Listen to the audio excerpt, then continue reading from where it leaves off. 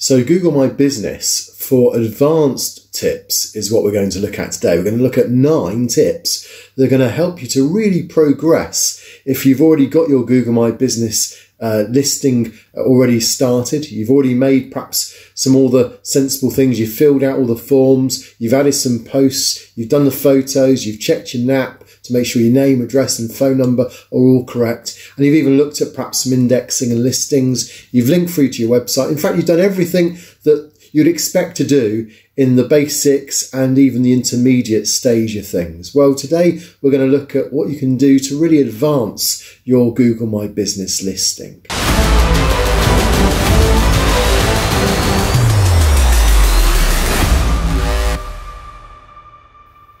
So I'm Zane from Zanet Design and I help businesses grow, particularly when it comes to local SEO, when it comes to building your business on a local basis. Things like Google My Business will really help you. So using my 20 years of experience as a web designer, I'm trying to bring some things to the table that are going to help you grow your business in the coming weeks and months ahead. So let's look at the fact of we're talking about advance now, then advancing your Google My Business listing. What can you do and what things will we cover today? We're going to see, first of all, how you can really maximize the effect of your business listing. And so we'll look at some things you can do that are going to help you there. We're also going to look at see how you can beat the competition. So as your competitors are also getting improved and are building up their presence, what can you do to get just one up on them or even to see what they're doing well and to improve on what they've done as well? Then we're going to look at some of the latest techniques when it comes to traffic and building your traffic and your web design traffic and how you can integrate it with your own website as well. And finally, we'll look at some bonuses as well. What happens if you get suspended? What can you do to avoid being suspended? All those things will be covered by today's tutorial. So let's delve straight in to the very first tip that's going to help you grow your Google My Business listing.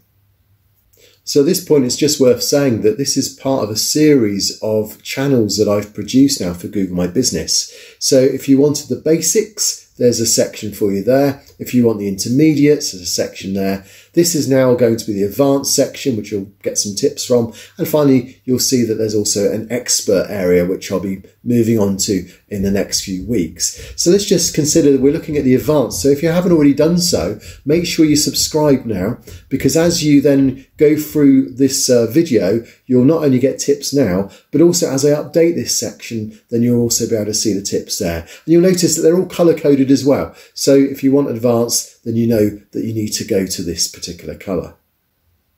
So tip number one, we'll assume that you're already in the local three packs. We'll assume you've made it in some areas, but how can you stay in there?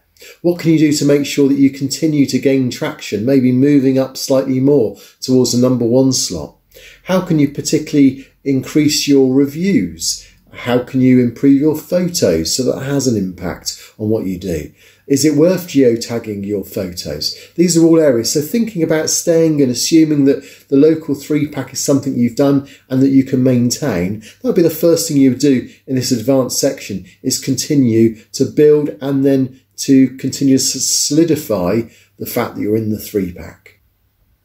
The second area I just want to look at is how you can improve your videos. So when you add videos, like when you add photos, can you do anything to the videos that are going to increase its chances of being considered relevant to your business and particularly to your locality? Yes, you can. You can add the address information to your video. So we'll see there's a video that will show you how to do that and particularly how to add a 360 degree video.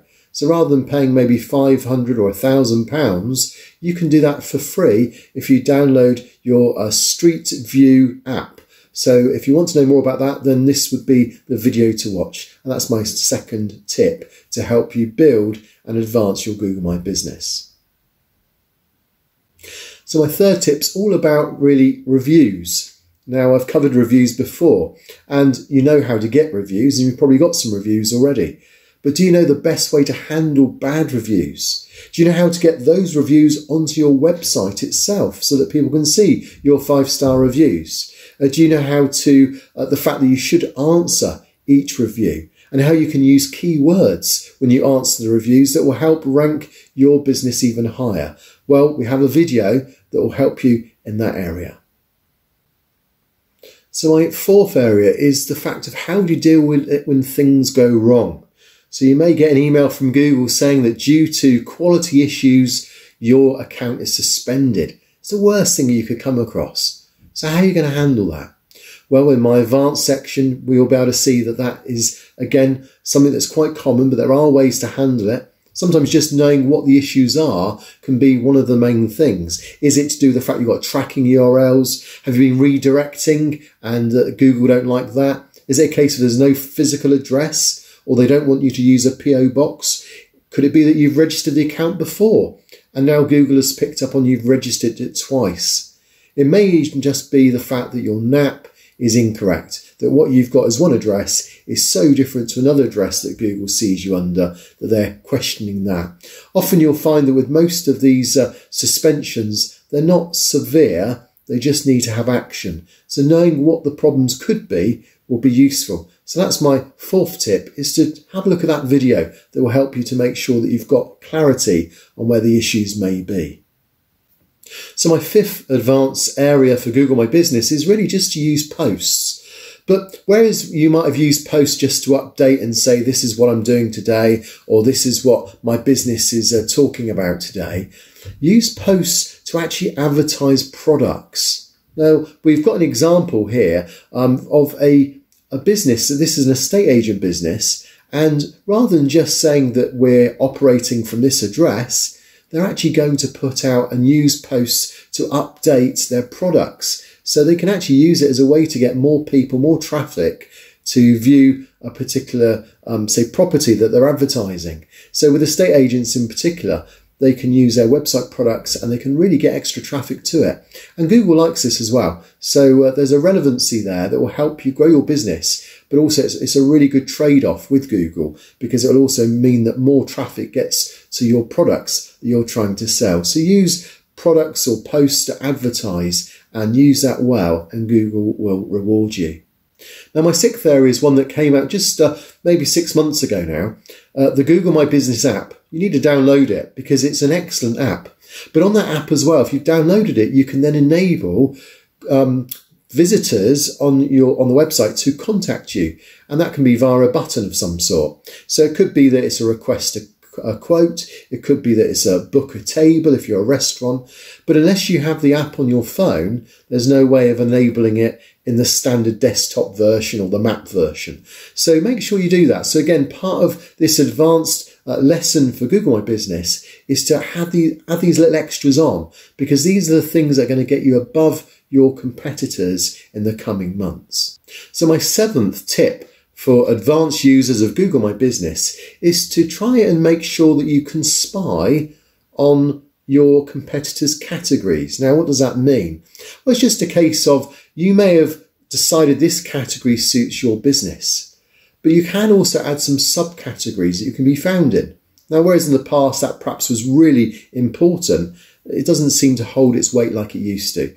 But even so, you can see what your competitors' subcategories are with this video that I've produced. So have a look at it. You can see what the subcategories are and you can see what your competitors are using. And then you can combine the two so that you can appear in more results when it comes to your Google My Business listing. So hopefully that'll be useful. And that's my seventh tip. My eighth tip is just there are several tools you can do to see where do I appear when others are looking at me. So the trouble is, if you just type in your own business, you're going to see yourself because you're in the same GPS area as your location. But what happens if someone, say 20 miles away, searches for my type of business? Will they find me? Am I able to be seen in another county, another town, another village? Well, there's about five different tools you can use that are going to help you see how you're viewed in other parts of the world. So have a look at this video and that one will be really useful if you just want to see how much more you're growing beyond your local three pack. My ninth tip for advanced users is to just be aware of some of the common errors that people make. So as they want to keep growing Google My Business, they perhaps start to look for ways of, of perhaps some shortcutting things, uh, trying to be clever. Maybe they've watched videos on YouTube that have suggested to do things that uh, perhaps grey hat, maybe black hat even and then suddenly they're wondering why they're going to be suspended. So all I'd say is just be aware of some of the limitations Google's put out there. And by doing so, in this video in particular, looking at the errors that sometimes come up as well, uh, that will help you to avoid being suspended because ultimately you want an honest business that's going to last you for many, many years. And that would be my ninth tip.